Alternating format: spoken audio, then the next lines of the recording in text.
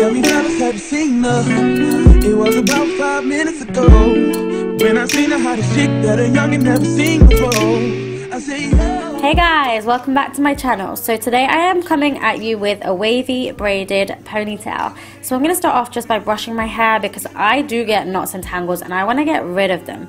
And then I'm going to be using the VO5 Shape My Style Voluptuous Waves Creation Hairspray. I'm going to give it a little shake and then spray it all the way through my hair. This is just a lightweight creation spray and I'm going to be using this whilst I also wave my hair. So I'm going to split my hair into two, section off one section and then using the spray I'm going to spray inch sections of hair, curl them and then drop them and this is just going to prolong the hold of my waves and my hairstyle. So I'm going to do this all throughout my hair until I get some really nice bouncy waves and some movement to my hair and then I'm going to run my hands through just to loosen them waves a little bit and give my hair one last hairspray.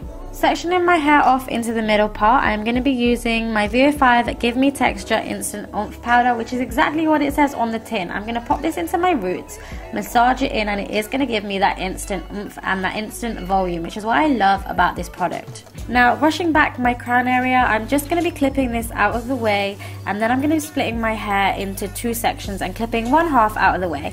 Splitting this section now into half, and then taking some hair out to frame my face, I'm going to grab a crocodile clip and just clip this out of the way. I'm then going to start a typical Dutch braid. So taking a section, splitting this into three, I'm going to braid this about three or four times and then I'm going to start taking sections from each side and adding them in to the middle. And I'm going to do this until I run out of the hair that I have sectioned off. So keep going with your braid all the way down. When you get about three quarters of the way, I start pulling at this braid just to make it really big and textured and then I'm going to secure it with a clear elastic and this is what it should sort of look like.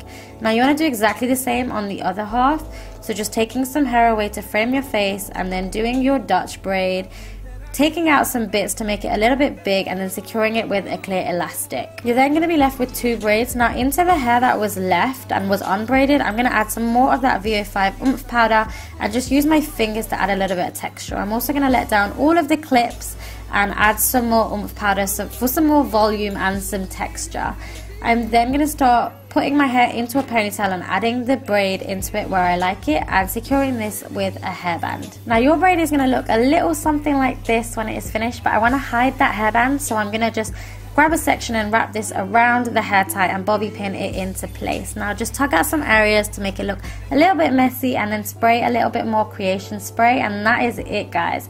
Your wavy braided hair ponytail is done. I hope you guys really enjoyed this tutorial and if you did make sure that you subscribe to the ATH channel which will be down below.